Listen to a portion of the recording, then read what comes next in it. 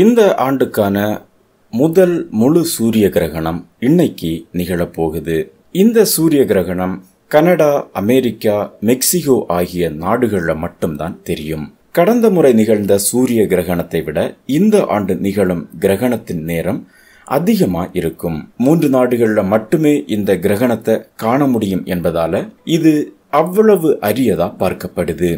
சூரியனுக்கும் பூமிக்கும் இடையே நேர்கோட்டு புள்ளியாக சந்திரன் வரும். அப்போது சூரியனை சந்திரன் மறைப்பதால் கிரகணம் ஏற்படுது. இந்த ஆண்டு முதல் சூரிய கிரகணம் இன்னைக்கு நடைபெறுது. சூரிய கிரகணத்தை காண கனடாவில் உள்ள நயாகரா நீர்வீழ்ச்சியின் அருகே லட்சக்கணக்கானோர் கூடுவார்கள் என சொல்லப்படுது.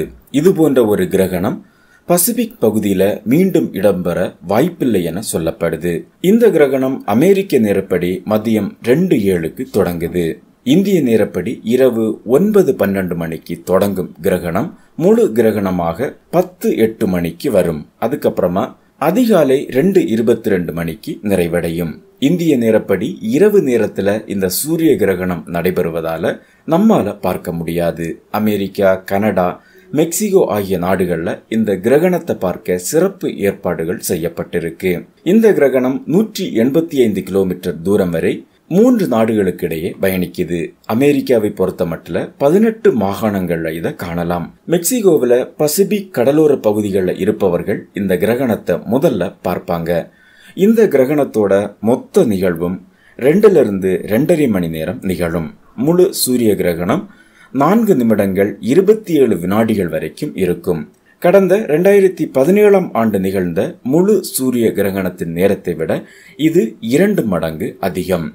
சூரிய கிரகணத்தின் பொழுது சந்திரன் பூமியிலிருந்து சுமார் ரெண்டு புள்ளி ரெண்டு மூன்று லட்சம் மைல்கள் தொலைவில் இருக்கும். சந்திரன் பூமிக்கு அருகே காணப்படுவதால வானத்துல சந்திரன் பெரியதா தெரியும்.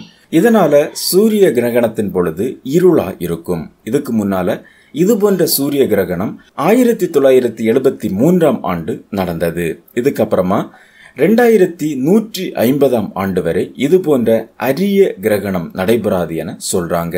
சூரிய கிரகணம் முழு சூரிய கிரகணம் வளைய கிரகணம் பகுதி சூரிய கிரகணம் முழு சூரிய கிரகணம் இணைந்த சூரிய கிரகணம் என பல வகையில் உள்ளது. இதில் நிலவு முழுமையை மறைக்கும் முழு சூரிய கிரகணமே இன்னைக்கு நடைபெறுது. கிரகணத்தை வெறுங்கண்ணால பார்க்கக்கூடாது. அப்படி பார்த்தா கண்ணோட கருவிழியில பாதிப்பு ஏற்படலாம் என சொல்லப்படுது.